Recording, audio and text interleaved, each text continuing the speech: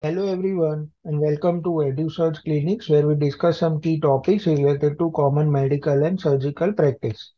We have received a lot of appreciation on this series so thank you for that. Today we are going to go into the sixth topic in the series of medical statistics made easy.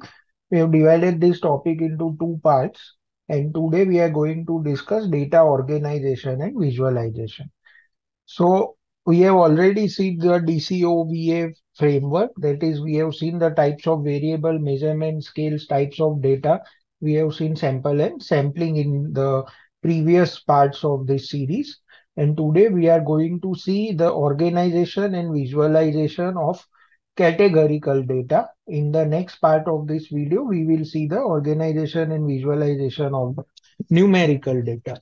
If you feel this topic is not important, this is an ICU monitor where a lot of data has been organized and presented in a way that you can understand your patient's clinical status in just a glance at the monitor. This is basically the essence of data organization and visualization to make the data appealing to the readers and to help them understand the data in the most simplified manner. So what are the steps of data organization and visualization? The first point you have to understand is the number of variables that you have studied and the number of variables that you need to organize and visualize. Then you see the type of data, nominal, ordinal, interval, ratio, the measurement scale. You organize it and then you visualize it. Okay.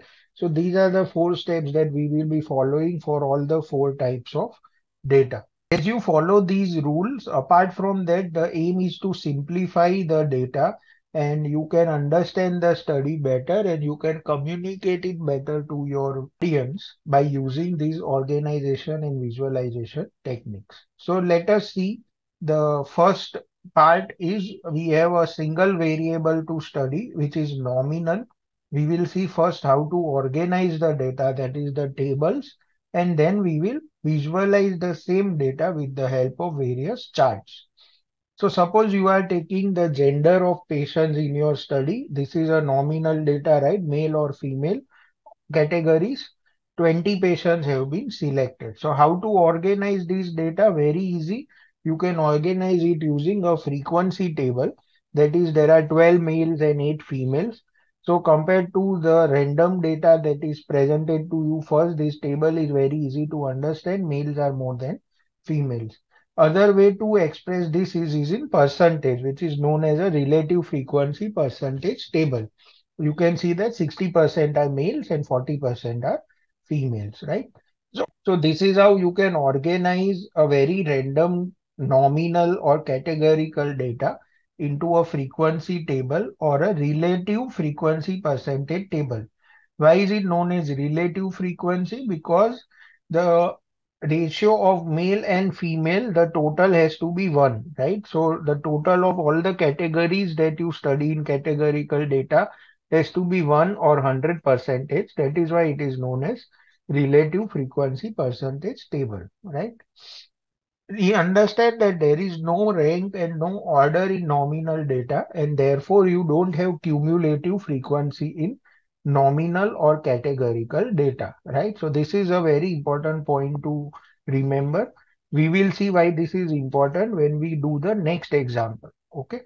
So now remember this data, 12 males and 8 females, when we will now visualize this or beautify this data. How can you visualize it? You can visualize it using a pie chart as is seen here, or you can use a bar chart, right? So a pie chart or a bar chart can be used to visualize nominal or categorical data. Now understand this bar chart very important. See that there is gap between the two bars, the male and the female. There is gap between the two bars. You can have horizontal bar or vertical bar chart, right? So the X and Y axis are interchangeable. Remember these points because in upcoming talks, you will see how to differentiate bar chart from a histogram. Okay. Similarly, you can use nominal data for age, marriage, occupation, as well as diet pattern when you use these data in categorical fashion.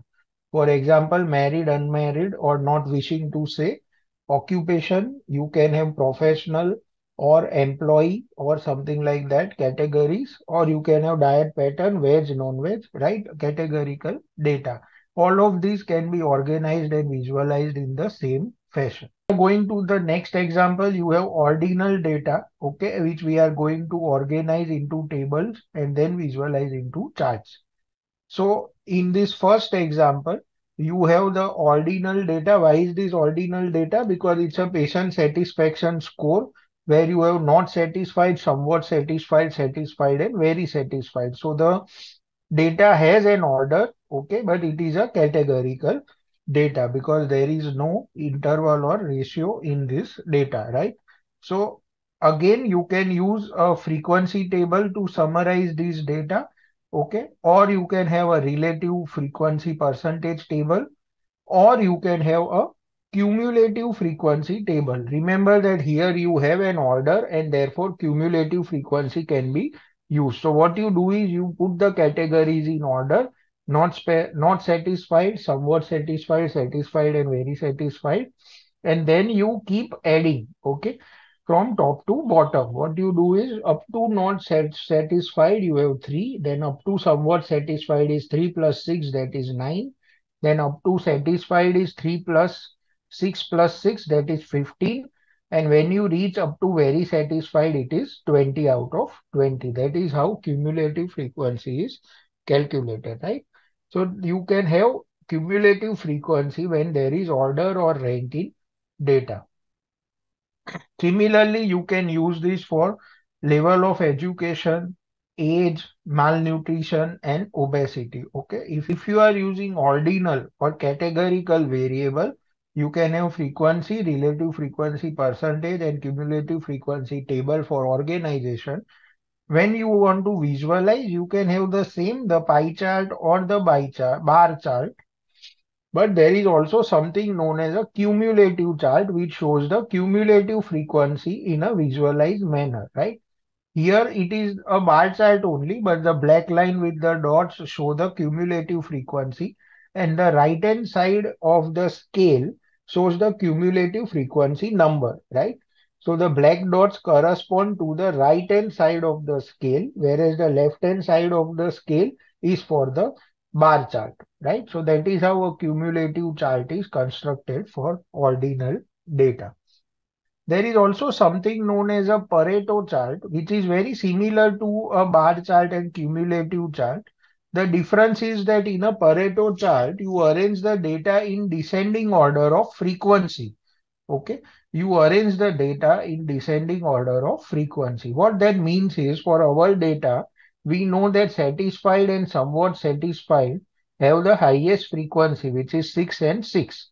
So you put those two bars before very satisfied and not satisfied. So you can see that this is same, same data, but it is arranged in descending order and then charted, which is known as a Pareto chart. Okay. The important is that it can give you a very visual information on the most important cause problem or solution. What that means is that by looking simply at this chart, you can easily make out that satisfied and somewhat satisfied are most commonly occurring and very few patients are not satisfied, right? So that, that is the importance of a Pareto chart.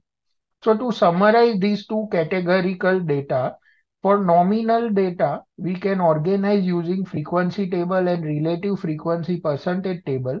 And for visualization, we can use bar chart, pie chart, or Pareto chart.